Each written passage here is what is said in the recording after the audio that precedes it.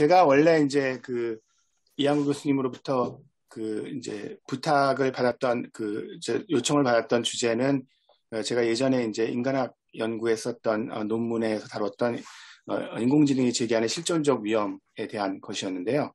그 사이에 이제 제가 추가로 좀그 연구한 내용들이 있어서 실제로 오늘 발표드릴 내용은 그 논문 자체 아마 그 참가자 선생님들께는 배포가 되었던 것으로 기억하는데 그거 내용에다가 조금 덧붙인 내용이 있다는 말씀을 미리 예, 드리겠습니다. 일단 이제 그 제가 나중에 드릴 말씀과 관련이 되는 내용인데 그리고 아까 그, 아, 그 제가 이제 아, 다른 그 이제 수업 끝나고 이제 마무리하면서 여기 켜놨을 때 이제 나왔던 얘기들 중에서 이제 뭐 GPT 얘기가 나오더라고요. 그 GPT-2 지금 3까지 나왔는데 어, 그런 인공지능까지 포함해서 어, 사실 인공지능이 퍼포먼스 차원에서는 어, 엄청난 어, 그 어, 발전을 하고 있는 건 사실입니다. 이게 어, 제가 개인적으로 굉장히 관심이 있어서 그 추이를 지켜보고 있었던 어, EMI, M이라고도 부르는 음악 인공지능이 최근에 아예 에밀리 하웰이라는 어, 일종의 연애명이죠. M, M명을 갖고 어, 그 어, 이제 본격적으로 이제 음반 활동을 하면서 어, 내놓은 작품인데요. 어, 초기에 이 EMI의 작품들은 비발디나 바흐 같은 유명한 작곡가의 작품을 이제 기계학습해서 어, 그걸 이제 흉내내는 어, 작품들을 만들었다면 어, 이 에밀리 하웰로 이렇게 일종의 그 버전업을 한 다음에는 어, 뭐 엘리베이터 뮤직스럽기는 하지만 어, 기존에 없었던 어, 곡들을 상당히 이렇게 그 나름대로 들어줄 만하게 예, 그 작곡하는 걸 볼 수가 있습니다. 그러니까 그 유튜브에 꽤 많은 그 영상이 올라가 있으니까 한번 참고하면 되시는데요. 근데 이제 제가 드리고 싶은 말씀은 이제 그 실존적 위험에 대한 여러 담론들이 이런 이제 굉장히 빠른 속도로 이게 중요한데 전통적으로 인간만 할 수 있었다고 생각하던 영역에서 또 인공지능이 예, 그 두각을 나타내면서 어 이제 사람들이 이제 위협을 느낀다는 어 배경이 있다는 말씀을 음, 드리겠습니다. 그래서 그 논의를 위해서 몇 가지 뭐 선생님들 다 잘 알고 계시겠지만 좀 짚고 넘어가야 될 용어들이 몇 개 있는데요. 인공지능의 원래 의미, 원래 의미라는 게 뭐냐면 이 용어가 만들어진 용어거든요. 원래부터 있었던 용어가 아니라 사실은 어, 그 학술 용어는 아니었고요. 어, 1960년대에 인공지능 연구를 어, 그 당시는 인공지능으로 부르기보다는 다른 명칭으로 불렀는데 기계지능이라는 명칭이 요즘에 더 훨씬 많이 쓰는 명칭. 하여튼 이 분야의 펀딩들을 좀 많이 따오기 위해서 당시 이제 그 학회나 학술대를 조직했던 메카시나 민스키 같은 인공지능 연구자들이 만든 용어입니다. 의도를 갖고 뭐 어떻게 만들었냐면 정확히 아까 제가 소개해드린 그런 어 그 어, 에밀리 하웰 같은 걸 염두에 둔 거죠. 뭐냐면 인간만이 할 수 있다고 생각되는 행동, 특히 인간이 다른 동물들에 비해서 어, 우월성을 가지고 있다고 생각하는 지적인 행동. 그거를 기계도 할 수 있다. 당시로서는 뭐 거의 뭐 말도 안 되는 언어 도단적인 생각이었죠. 그거를 보여주고 실제로 어, 그런 다양한 일들을 어, 해낼 수 있다는 걸 통해서 어, 기계의 지능을 구현할 수 있는 어, 능력들을 이제 홍보하기 위해서 만든 단어 입니다. 어, 그리고 여기에는 배경에는 어, 그 이제 마음의 철학, 그, 그, 그 심리 철학에서 얘기하는 기능주의적 마음 이론이 깔려 있습니다. 무슨 말이냐면 이거는 동의하지 않는 철학자가 많죠. 어, 특히 이제 대륙 철학 전통에서는 동의하기 어려운데 어, 결국 마음이라는 거는 물질의 복잡한 형태의 구현 어, 방식이고 그 마음의 여러 가지 다양한 형태는 그 마음이 어, 어떤 입출력 관계를 갖는지 라는 그런 기능주의적인 속성들로 규정이 될 수 있다. 라는 전제 하에서 어, 인간이 보여주는 지적인 행동들도 이렇게 기능주의적으로 이해를 하면 어, 실제로 그런 기능주의적 작동 방식을 어, 그 어, 다른 방식으로 실리콘에서 어, 그 모사할 수 있다면, 에뮬레이션 할 수 있다면 어, 그러면 충분히 인간의 지적 행동을 결과론적으로는 흉내낼 수 있지 않을까 하는 생각에서 나온 얘기입니다. 이 점이 되게 중요합니다. 제가 일단 말씀드릴 내용과 초지능이라는 개념, superintelligence라는 개념은 이렇게 만들어진 인공지능의 계산 능력 이 점도 되게 중요한데요. 대개 막그냥 초지능을 마치 무슨 초인이나 슈퍼맨처럼 그 묘사하는 경향이 있는데 학술적으로는 정확하지 않은 어, 이해고요.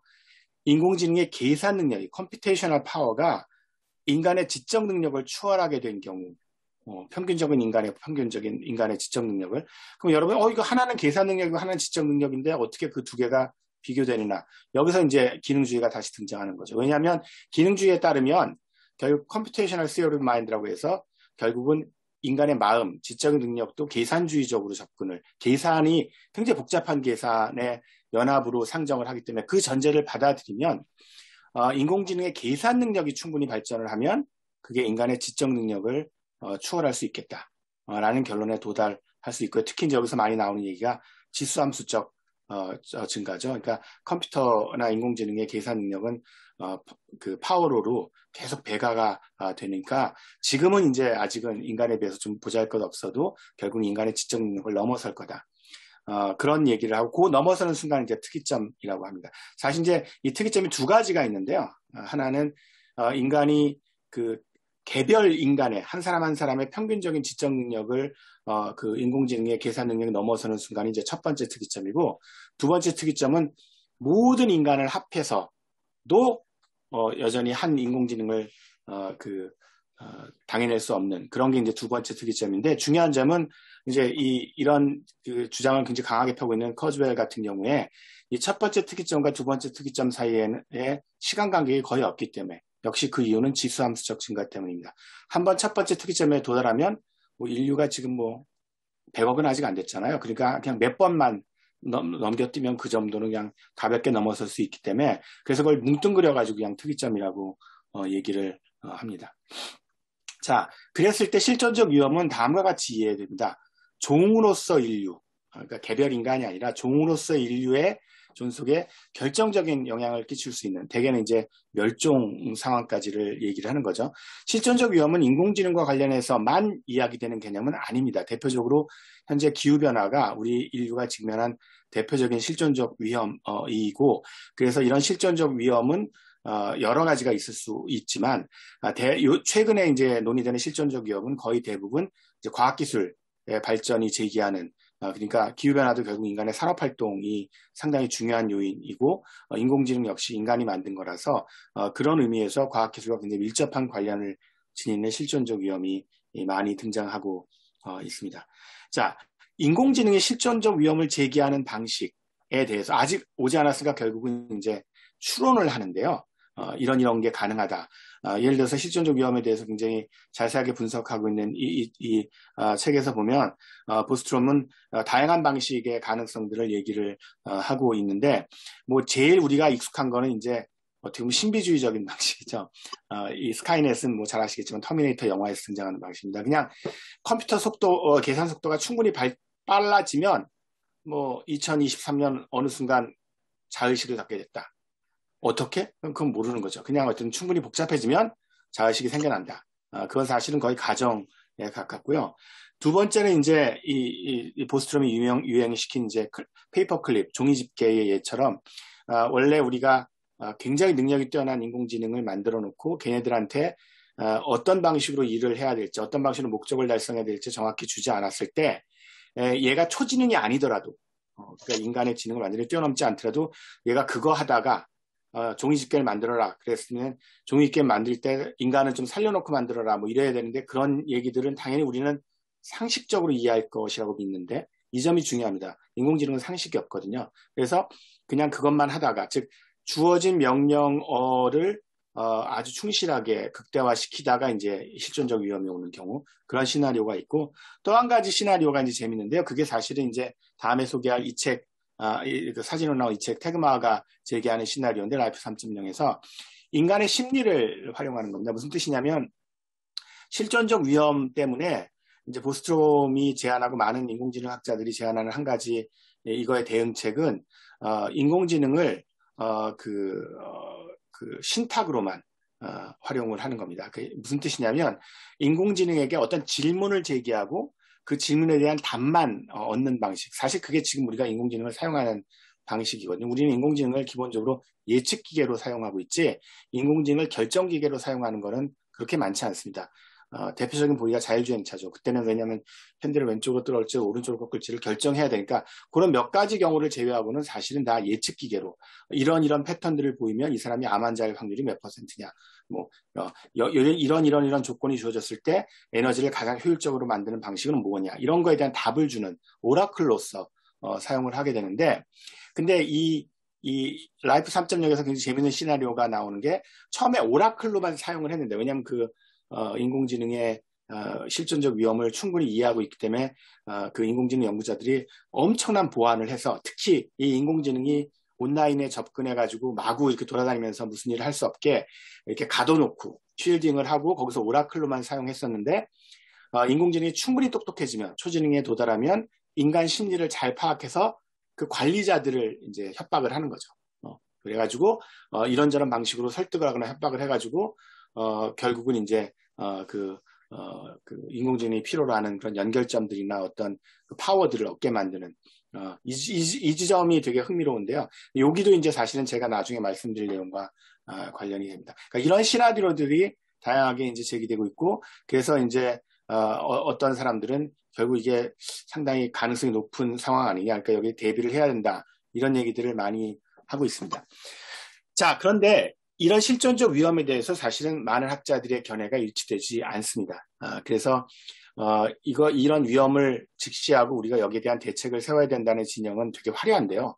어, 지금 최근에 작고한 스티븐 호킹부터 시작해가지고 인공지능에서 제일 많이 쓰는 교과서 저자인 스튜어트 러셀까지 포함해서 아주 진영이 화려합니다. 근데 또 반대편 진영도 어, 그 상당히 만만치가 않거든요. 사실 어, 상당수의 인공지능 연구자들은 실존적 위험에 대해서 그것들을 그렇게까지 난리를 칠 정도로 정말 심각한가에 대해서 의문을 제기하고 스티븐 핑커 같은 이제 인지심리학자들도 역시 학술적인 이유에서 제가 좀 이따 말씀드릴 어, 의문을 제기합니다.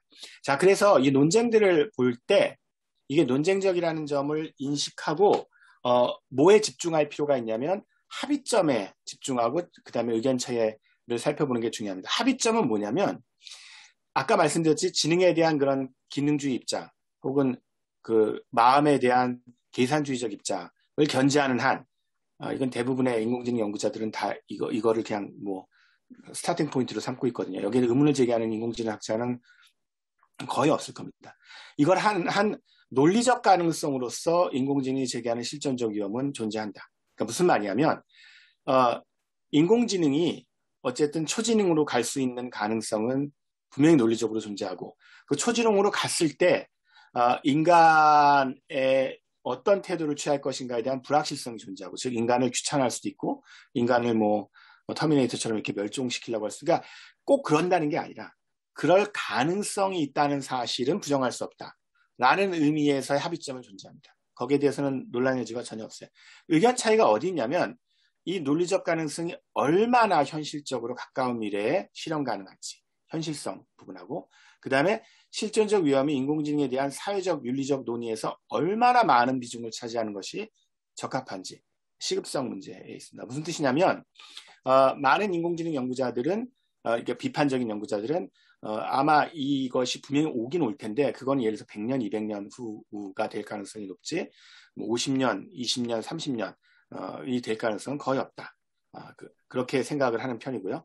두 번째로 인공지능이 현실 인공지능이 지금 뭐 젠더 문제, 사회적 불평등 심화시키는 문제, 공정성 문제 등 수많은 윤리적 쟁점 훨씬 시급하게 어, 거기에 대해서 대응이 필요한 쟁점들을 어, 만들어내고 있는데 여기에 대한 대응책에 집중해야지 실존적 위험에 네, 집중하는 것. 특히 이제 이 실존적 위험을 부각시켜서 인간과 미래 연구소가 어, 그 엄청 백만장자로부터 어마어마한 금액의 지원을 받았는데 그런 식으로 이 실존적 위협에 이 마치 인공지능과 관련된 윤리적 논의의 제일 중요한 부분인 것처럼 어, 그 포장이 되는 것은 그건 바람직하지 않다. 어, 이런 데서 이제 의견 차이가 어, 있는 겁니다. 그 다음에 이제 스티븐 핑커 같은 인지심리학자들은 훨씬 학술적 이유에서 이 실존적 위험에 대해서 문제 제기를 합니다. 무슨 뜻이냐면 그 이 실존적 위험을 강조하고 부각시키는 사람들이 사용하는 지능 개념이 너무 씬하다는 겁니다. 너무 얇다는 거예요. 아, 까도 말씀드렸지만 기본적으로 이 사람들은 어, 그 CPU의 계산 속도가 얼마나 빨라지느냐와 아, 지능이 얼마나 높아지느냐를 거의 같이 어, 놓고 얘기를 하거든요. 근데 이제 핑커가 지적하는 건 가령 인간 지능을 볼 때 우리가 지능이 높다고 하는 거는 어, 지금은 이제 지능 연구가들 사이에서는 합의된 시점 어, 그 견해가 다중지능 이론입니다. 즉 뭐냐면 인간 지능은 어느 한 가지 능력만으로 구성되어 있는 게 아니라 언어적 지능, 수학적 지능, 그래서 육체적 지능, 균형을 맞출 수 있는 능력, 예술적 지능, 의사소통 능력, 감정적 능력 이런 여러 가지 지능들로 구성되어 있고 이 지능들이 어느 하나가 높다고 다른 하나가 꼭 높지는 않는 즉 완전히 100% correlation이 있지 않은 서로 서로 독립적, 그러니까 완전히 독립적이지 않겠죠. 그 두뇌 의존할 테니까 그러니까 상당히 독립적인 지능 요소로 구성되어 있기 때문에 어, 이, 이것들을 단일한 어떤 숫자로 IQ 120, 뭐 150 이런 식으로 나타내는 것은 적절하지 않다는 게 사실은 consensus가 있습니다. 지능 연구자들 사이에.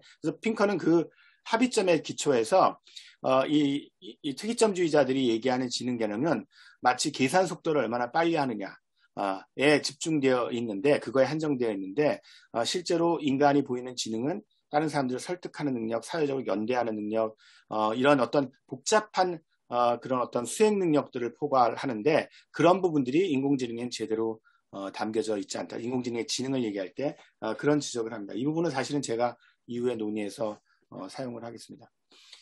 자, 일단 제 생각에는 이런 논의들을 올바로 평가하기 위해서는 인공지능 기술의 현재 수준과 앞으로 가까운 미래에 도달할 수준들, 내용들을 정확하게 인식하는 게 굉장히 중요합니다. 왜냐하면 사실 많은 경우에 일반인들, 그리고 어떤 경우는 학자들의 인공지능 논의도 지나치게 SF 영화에 의존을 하고 있습니다. 즉 인간하고 전혀 구별이 안 되는 수준의 인공지능 을 장착한 로봇이 등장하는. 근데 이제 그런 것들은 굉장히 좀 어, 위험할 수 있어요. 어, 그럼에도 불구하고 제가 그, 그 위험한 게 왜 중요한지를 말씀드리기 전에 그럼에도 불구하고 인공지능의 등장이 사실은 우리가 전통적으로 견지해오던 인간이 어, 자연에서 어, 그 완전히 독특한 위치를 가지고 우주에서도 완전히 특별한 위치를 가지고 있고 어, 그래서 인간은 어, 그 어, 어떤 특이점이다. 그 자체가. 라는 생각에 기초한 그런 인간 어떤 특이점주의에 기초한 인문주의 모든 인문주의가 그런 건 아니지만 그런 인문주의를 재검토할 가능성은 제기한다고 어, 봅니다. 왜냐하면 아까 말씀드렸지만 거의 확실한 것은 적어도 결과물의 차원에서 즉 수행 능력의 차원에서 어, 전통적으로 인간만이 할 수 있었다고 생각하는 영역을 어, 인공지능이 못할 가능성은 거의 없어 보입니다. 기술적으로도 그렇고요. 논리적으로도 그렇고 이게 이제 넥스트 렘브란트라고 어, 역시 이제 미술 인공지능이 만든 렘브란트 어, 작품인데 렘브란트의 에, 그 기존 작품들을 어, 기계학습시켜서 렘브란트가 그렸을 법한 어, 작품을 어, 설계도를 만들고 그걸 3D 프린터로 찍어낸 작품인데 렘브란트 전문가들도 물론 이게 렘브란트가 안 그렸다는 건 알지만 어, 굉장히 렘브란트 스타일을 정확하게 기가 막힐 정도로 잘 어, 묘사했다고 얘기하고 있습니다. 그래서 이런 능력들이 퍼포먼스 차원에서는 사실은 확실하다는 거죠. 다만 역시 또 중요한 점은 이런 뛰어난 능력을 보이는 인공지능이 자기가 뭘 하는지를 자각할 능력은 아직 없고 이게 또 중요한데 가까운 미래에도 있을 가능성은 없습니다. 왜냐하면 우리가 그런 그러니까 여기서 물론 조심하셔야 되는데 컴퓨터 과학자들이 얘기하는 자각 능력은 피드백 메커니즘이에요. 그래서 이미 awareness 회로가 있습니다. 그런 의미에 그러니까 뭐냐면 자기의 출력을 다시 이제 입력 값으로 받아서 그걸 갖다 다시 revise해서 어, learning을 진행하는 학습을 진행하는 그리고 여러 개로 구성된 요소들에서 계속해서 실시간으로 정보를 받아서 그걸 업데이트해 가지고 판단을 하는 이런 의미의 자의식 그러니까 그 information processing으로서의 자의식은 있어요. 근데 우리가 흔히 자의식이라고 얘기할 때 그런 퀄리아적인 측면들, 그러니까 어, 느낌적인 측면들, 그 다음에 어, 그 성찰적인 측면들, 통찰적인 측면들에 있어서는 어, 사실은 그것 자체를 어떻게 구현해야 될지에 대한 이론도 아직 없는 상태입니다. 그러니까 단순히 기술적 한계라서 5년, 10년 내에 극복될 수 있는 게 아니라 이쪽 연구 자체가 없습니다. 그러니까 어웨어니스를 인간적인 의미의 어웨어니스를 인공지능에 만들어 넣자 라는 연구를 제가 거의 과문에서인지 거의 본 적이 없고요. 일반 인공지능 연구도 역시 기능주의적으로 어, 이루어집니다. 그러니까 인간이 할 수 있는 모든 일들을 원칙적으로 결과물로 산출할 수 있는 그런 인공지능. 이것도 굉장히 어려운데 이쪽 이론도 사실은 아직 굉장히 어, 제한적이라고 말씀드릴 수 있습니다. 그래서 결국은 어떤 의미에서 보면 네안데르탈인 이후에 우리 인간은 처음으로 괄목상대할 만한 존재를 맞이한 거죠. 적어도 결과물에 있어서는 어, 인간과 비등하거나 어떤 경우 인간보다 훨씬 뛰어난데 그런데 인간하고 너무 다른 지능을 보여주는.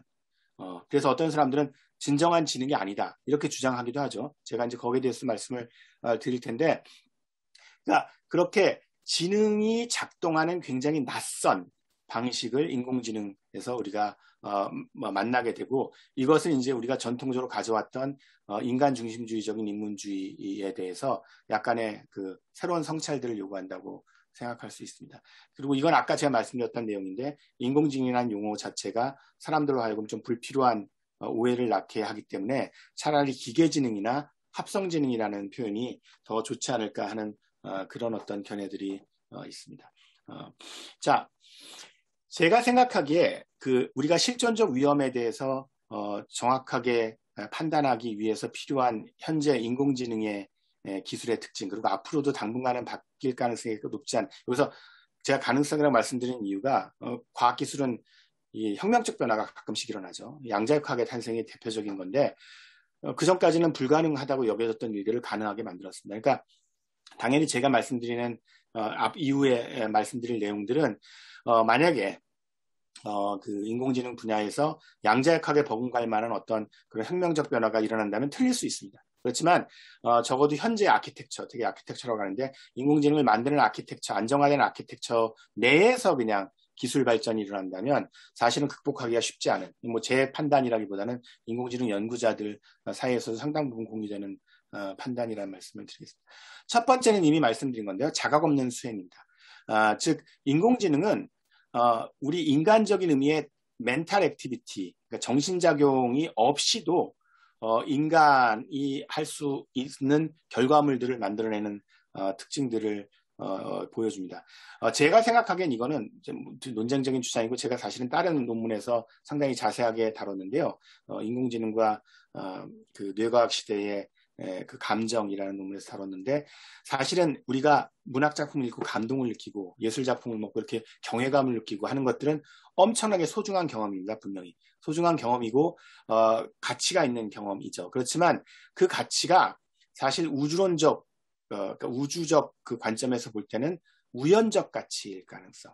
여기서 우연적이라는 컨틴전트를 의미합니다. 그러니까 그게 필연적으로 모든 우주의 어, 그 존재들에게 절대적 가치를 지닌다기보다는 우리 지능이나 우리의 mental activity가 가진 독특한 조건 내에서 생성된 가치일 가능성. 왜냐하면 인공지능이 그렇게 엄청난 뛰어난 걸 제작할 수 있으면서도 자각은 없거든요. 그러니까 그 말은 적어도 존재론적으로 볼 때 이 엄청난 결과물과 그 다음에 그것에 대한 어떤 어, 그 마음의 경험, 심적 경험 사이에는 필연적 연결은 없다 하는 점을 보여주고 있다고 할 수 있습니다.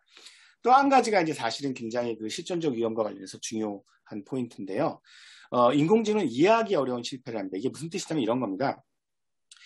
현재 그 탁월한 능력을 보여주는 인공지능이 이제 이미지 판독 인공지능인데요. 뭐 여러분 얘기 많이 들으셨을 텐데 예를 들어서 어, 이, 미지 판독 여러 가지 사진들을 보여주고 그 사진이 뭐냐를 예측하는 그 판정하는 인공지능의 능력은 이미 평균적인 인간을 넘어섰습니다. 근데 거기서 조심하셔야 되는데 그 평균적인 인간을 넘어섰다는 게 이런 뜻입니다. 가령 저는 어, 이 발표를 준비하면서는 예, 물론 찾아봤지면서 지금은 알지만 어, 원래는 페르시아 고양이랑 샴 고양이를 구별을 못했어요.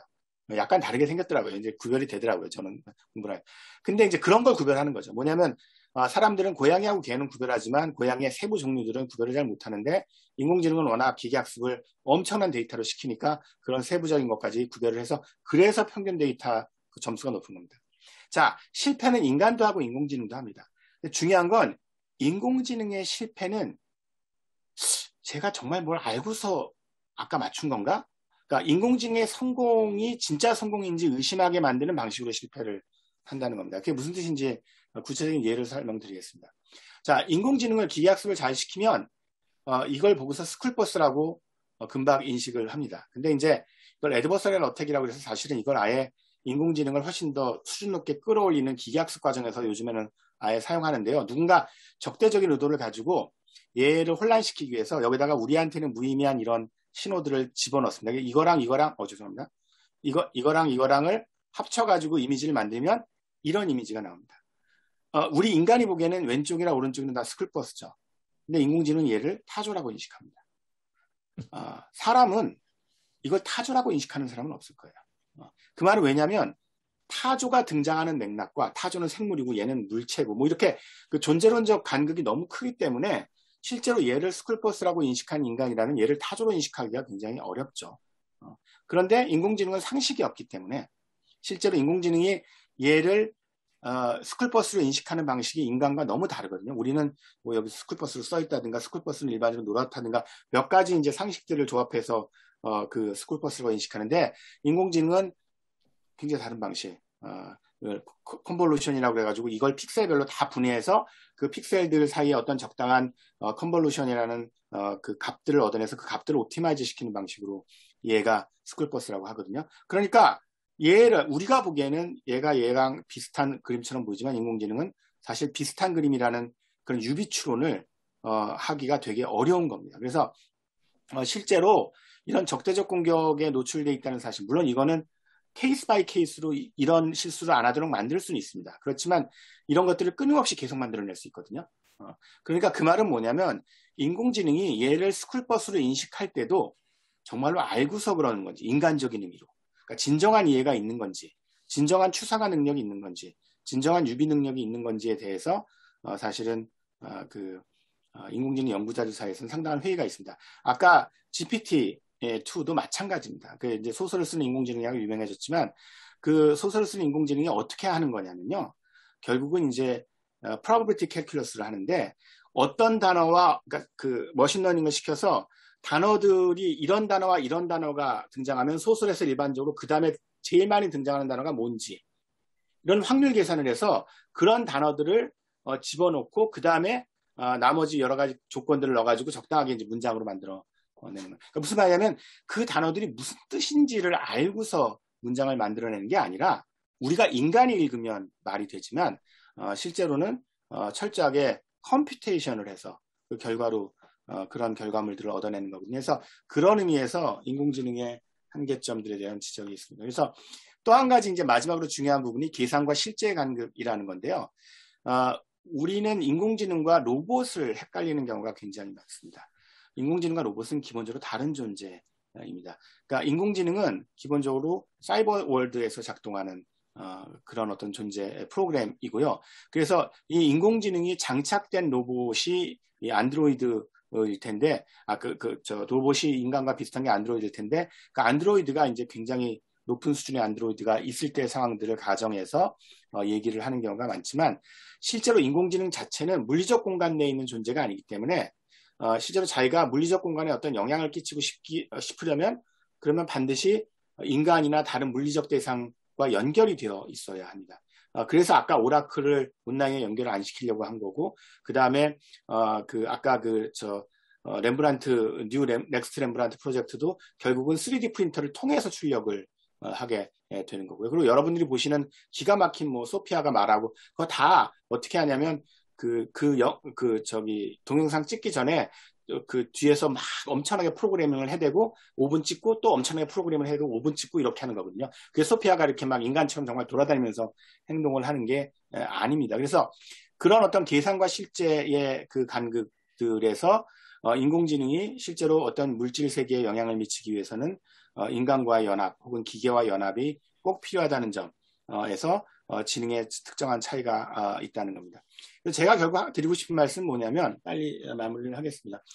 그 인공지능은 굉장히 유니크한 지능이라는 겁니다.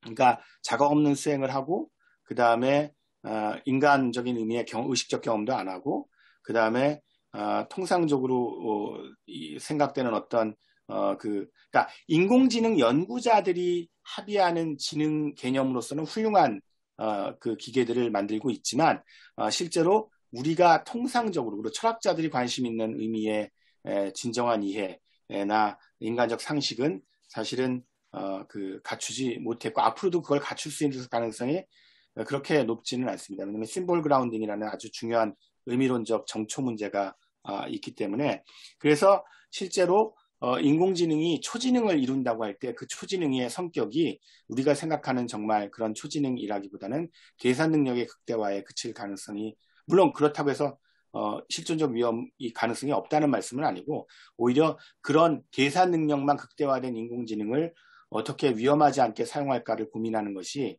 중요하다는 말씀입니다. 여기서 약간 더 나가면 어, 이건 제가 굉장히 좀 어떻게 보면 논쟁적인 주장을 하는 건데 저는 인간지능도 역시 굉장히 특별하다고 생각합니다. 유니크하다는 의미에서요. 즉 뭐냐면 인간지능도 지능이 존재할 수 있는 다양한 것 중에 하나이지 사실은 그 지능이 가져야 되는 어떤 보편적 특징을 구현하는 거라고 보기는 어렵다고 생각할 수 있습니다. 그래서 사실은 어, 그 지능의 어떤 그 이센셜한 어떤 그 특징들이 있고 핵심적인 그것들을 이제 구체적으로 구현하는 사례 토큰으로서 인간 지능이 있고 인공지능이 있고 뭐 이런 식의 다양한 지능들이 어, 있을 수 있는데 만약에 우리가 이 실존적 위험이나 이런 철학적 문제를 접근할 때 진정한 지능은 인간 지능이다라고 처음에 놓고 시작하면 사실은 그거는 어, 그 백인더 퀘스천 어, 이 어, 논점 선치가 어, 될수 있어서 훨씬 더 중립적인 어, 방식으로 지능이나 아, 마음 의 개념들을 어, 출발할 필요가 있다는 점을 어, 실제로 그 인공지능의 등장이 어, 보여준다고 말씀을 드릴 수가 있습니다. 그래서 기본적으로 이제 지구가 여기 안 있거든요. 이 가운데는 블랙홀이 있고 이 은하계에서 여기 구석탱이에 여기 있는데요. 이 사실도 굉장히 충격이었죠. 그래서 그런 사실들이 함축하는 우주론적인 의미, 즉 우리 인간이 굉장히 우리 특별하고 훌륭한 존재이지만 사실은 우주적 어, 어, 수준에서 볼 때는 어, 우연적 사건, 어, 그 어, 우연적 현상, 컨틴전트 피노미나일 가능성을 어, 생각을 하고 실존적 위험이나 이런 주제들에 대해서 접근하는 게 좋지 않을까 생각합니다. 네, 감사합니다. 네, 되겠습니까? 예, 예, 예. 예. 그 이상욱 선생님 그 강의 잘 들었고요. 그 실존 AI의 실존적 위험 논쟁의 그 합의점을 말씀해 주셔서 상당히 이제 도움이 되었고요. 그 선생님 그, 그 입장은 어떤 것이 좀 제가 알고 싶은데요. 그 인간 지, 인공지능의 실존적 위험의 그 탈신화를 그 보내주신 이제 자료에서 언급을 하고 있으신데요. 어, 선생님이 그 입장을 옹호하시는 것인지 아니면 제 생각으로는 이런 인공지능의 실존적 위험의 탈신화화의 어떤 역설이 또 충분히 가능하다고 보거든요. 인공지능에 대한 어떤 음, 뭐 그 실존적 위험이 과장되었다고 하는 그런 입장도 역시 어떤 인공지능에 대한 중립적인 어떤 가치를 옹호한다든지 아니면 좀 더 낙관론적인 입장도 하나의 일종의 어, 신화가 될 수 있다라고 저는 생각을 합니다. 그게 하나의 반론일 수도 있겠는데요. 근데 이게 왜 그러냐 하면은 이런 인공지능의 기능주의가 소위 우리가 우려하는 기술 전체주의의 어떤 를 옹호하거나 어 그 뭐랄까요 방조하는 이 이데올로기로서의 어떤 역할도 할 수 있다고 생각했습니다. 그래서 여러 이제 음, 그, 그 논, 논쟁의 그, 뭐, 뭐랄까, 입장들을 소개해 주셨는데, 제가 최근에 그 본 책 중에 이제, 어, 일본의 대표적인 그 시민철학자, 오카, 오가와 히토시라는 사람이 AI를 이기는 철학이라고 2019년에 나온 책인데, 여기서는, 어, 우리에게 이제 AI 그, 그 실, 어, 관련된 실존적 위험에 관해서 두 가지 입장 선택지가 있다라고 이제 그 사람이 주장을 하는데 하나는 음, 우리가 AI에 복종하는 사람과 인류가 되든지 아니면 철학으로 무장해서 이걸 맞설 수 어, 있는 사람이 어, 나 인류가 될 수 있는 그 두 가지 선택지를 얘기하면서 아, 어, 이, 그 사람의 주장은 인간이 인간 인공지능에 맞선 유일한 길은 철학, 철학적 사고력을 키우는 것이다. 그래서 그가 이제 열 가지 이제 전통적인 철학적인 사고법을 뭐 이게 제시를 하는데요. 그 중에는 대표적인 게 다문다다법이라든지 감정사고법, 명상사고법 또는 메타 사고법 이런 걸 제시하면서 그래서 우리가 철학만 제대로 배우고 배우고 한다면 배우면 인공지능은 뭐 두려워할 존재나 뭐 위험스러운 게 아니고 어 그래서 에, 인공지능을 이길 수 있다. 그 방법은 철학뿐이다. 가장 오래된 학문이 철학이 모든 문제에 대해서 어느 정도 그래도 어, 음, 활력과 어떤 그 우리 우리의 반성적 착오를 통해서 첨단 기술의 인공지능을 극복할 수 있는 그런 어떤 어, 유일한 길이다 이렇게 이제 제시를 하는데요. 아, 이런 주장에 대해서 선생님의 견해를 좀 듣고 싶습니다. 네, 감사합니다. 그 제가 이제 그 잘 저 지적해 주신 것처럼 어, 인공지능이 제기하는 실존적 위험이 과장되었다 하는 점을 지적한다고 해서 인공지능이 제기하는 여러 위험들이 없다고 말씀드리는 것도 아니고 특히 그게 어떤 그 적, 적절한 맥락에서는 실존적 위험으로 불릴 수 있다고 생각하지 않는 것도 아닙니다. 그래서 그런 의미에서 어, 그 어, 선생님께서 말씀하신 내용들에 상당히 공감이 되는데요. 제 입장을 정리하면 이렇습니다. 어, 실존적 위험을 과장하든 아니면 그걸 무시하든 그 사람들이 빠지고 있는 어, 그 오류의 제일 밑바닥에는 제 입장은 인공지능이 정확히 뭔지를 오독하고 있기 때문이라는 겁니다.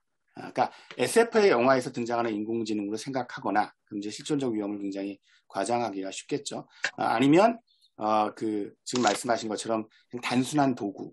그래서 그냥 우리가 잘 쓰면 되는 거지 뭐 그걸 통해서 뭐 그 나중에 그 우리 노동도 안 하고 그냥 기본소득 받으면 돼 이렇게 그냥 굉장히 낙관주의적 전망 어, 그렇게 그, 어, 그 쉽게 생각을 하기 때문에 나타나는 현상인데 실제 인공지능은 어, 제가 지금 말씀드린 그런 세 가지 특징, 자각 없는 수행, 어, 그 다음에 이제 현실과 어, 계산의 간극, 어, 그리고 이해할 수 없는 실패라는 굉장히 독특한 어떤 어, 한계들을 지닌 그렇지만 그 결과물에 있어서는 정말 엄청난 결과물들을 내는 왜냐하면 굉장히 똑똑한 엔지니어들이 거기 들러붙어서 그것들을 어, 개선하고 만들어내고 있거든요. 그래서 그렇다는 특징들을 배경에 깔고서 어, 인공지능이 제기하는 다양한 위험, 어, 실존적 위험까지 포함해서를 고민을 해야 되고 그 과정에서 인공지능의 지능의 특이성과 인간 지능의 지능의 특이성을 정확히 파악해야지만 그 둘 사이의 어, 상호작용이 어떨 때